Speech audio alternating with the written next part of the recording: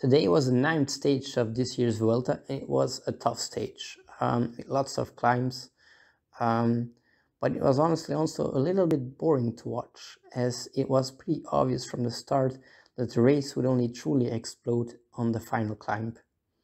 Um, there was a breakaway group today that managed to stay clear again, and the strongest climber within that group was Louis Meintjes, and he proved that by winning the stage. Like uh, he outpaced his fellow breakaway riders and won the stage, so a very good victory for him. As for the contenders, um, Remco had his teamwork all day for him. Alaphilippe especially did a fantastic job. It was a bit of tricky, a bit dangerous into the lead up uh, to the final climb, and he piloted uh, Evenepoel perfectly. Um, once they reached the final climb, the race truly began. Um, Ayuso attacked, actually, wasn't expecting that. Um, but Remco quickly caught him back um, and then basically took control of the climb. Um, Roglic was a little bit back, so he had to uh, um, do his best to just catch up uh, to the rest of them. Um, and once uh, Remco uh, started doing his pace hit, he had a very difficult time um, hanging on, and he eventually got dropped as a result. Um, Mas hung on the longest, but he also got dropped. So this time, Evenepoel managed to drop everyone. Um, I think it would actually been better if Ayuso, uh, Roglic, uh, Mas, and Rodriguez had paced their own tempo from the start. Like I think they would have lost less time today, but they tried to attack or follow Remco, and they end up blowing up a little bit. Um, and once they like dropped and were forced to uh, ride their own, their own tempo, they basically improved. Um, they they did better. So uh, yeah, they, they should have probably just paced themselves. Um, but they tried to follow Evenepoel and they couldn't do it. Um, so Evenepoel was definitely the best uh, today. Now I thought the time difference today wouldn't be that big, and I was proven right at the end. So because even though um, everyone dropped pretty early on on the climb, um, they didn't lose that much time. Um, the, everyone finished well of the four that I just mentioned. They all four those four uh, Ayuso, Roglic, um, Rodriguez, and Mas all finished within a minute of Evenepoel. Um, yeah, but Evenepoel was definitely the best in the race today. Um, he like he did his usual thing, like said, a fast tempo and just rides very very fast. Um, but even he had a difficult time on the steep uh, climb today at the end. It was very very steep. Like he almost stood still at times. It was that hard. Like he was grimacing. Normally his face pretty stoic, but he was grimacing. He was uh, showing all kinds of faces, so it was definitely difficult. And he was definitely going all out today once everyone uh, got dropped out of his wheel. Um, was absolutely, absolutely amazing to see. It was a fantastic performance of Remco Evenepoel today.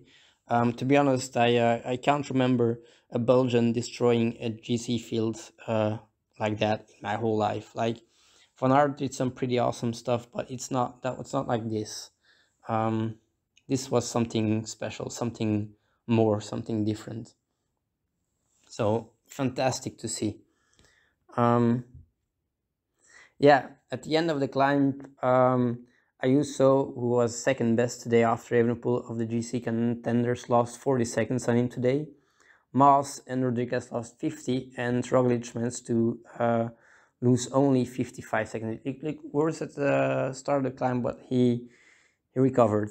Um, well, he still lost 55 seconds, but it, it looked it looked like it was gonna be worse than this.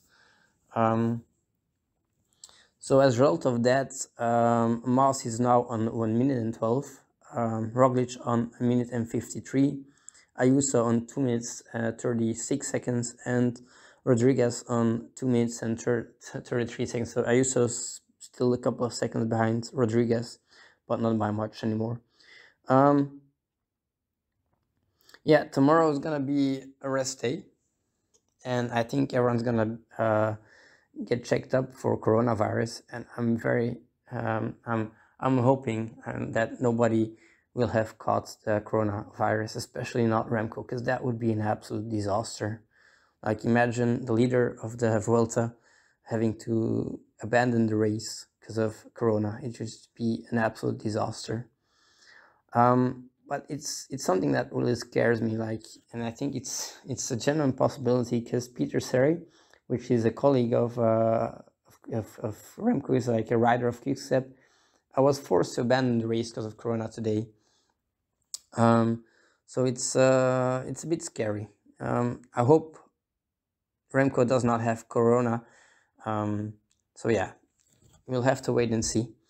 Um, but it would be absolutely terrible if he does. Um, so I'm hoping Corona doesn't hang around Quickstep the way it did uh, it UAE, during the tour. Um, I generally feared during the tour that Pogacar was going to have um, Corona, and I think ASO did as well, because I think, and that's just my, my thoughts, I'm not sure if that's true, of course, I think that's maybe why they uh, apparently did a very terrible job at uh, doing the tests with the riders, because I think they feared Pogacar might, might have Corona.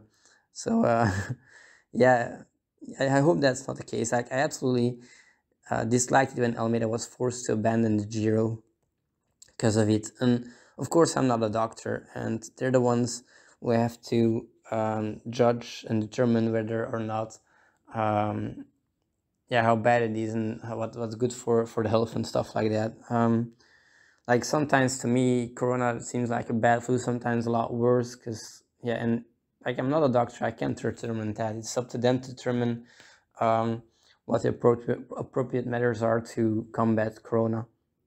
And if they say uh, you have to leave if you if you got corona, okay, that's what it is. It's just yeah, it's not something you want as a sports fan. As a sports fan, you just want people to be able to compete for what they've been working hard for the entire year. And like to think the Vuelta might be determined uh, by corona, that would be just absolutely terrible.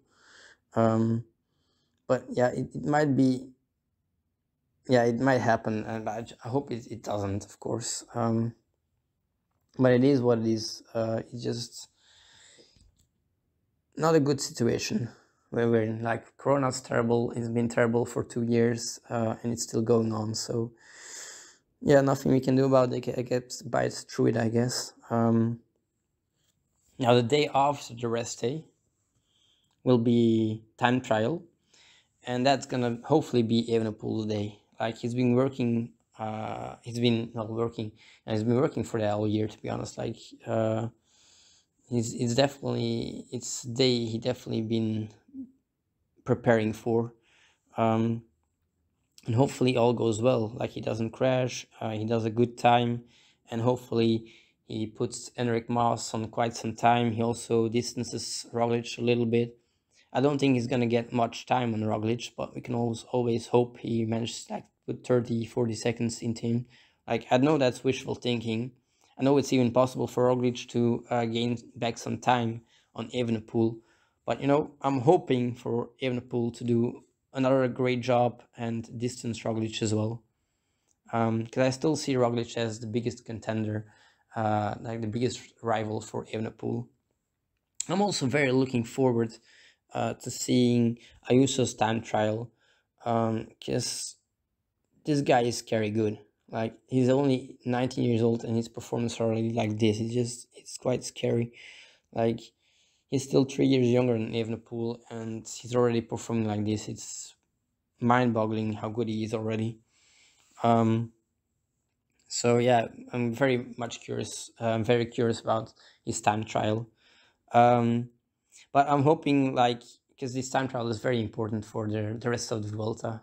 So I'm hoping Evenepoel uh, does well and he gets to have a little bit of a cushion uh, towards the rest of the Vuelta. Um, I think this time trial will determine how people will ride uh, from here on out because there's still the Sierra Nevada to come and um, if he got a little bit of a solid cushion, uh, Evenepoel uh, can even uh, lose some time there and still come out of on top. So yeah, I'm hoping everything goes as planned. I'm hoping Remco has another fantastic day. I'm hoping he has, has another fantastic performance and that he'll blow uh, the whole GC uh, guys away one more time and just wins the stage, wins the team time trial. Uh, wins the time trial. It's not a team time trial. It's an individual time trial, of course. So yeah, I'm here still hoping he wins it.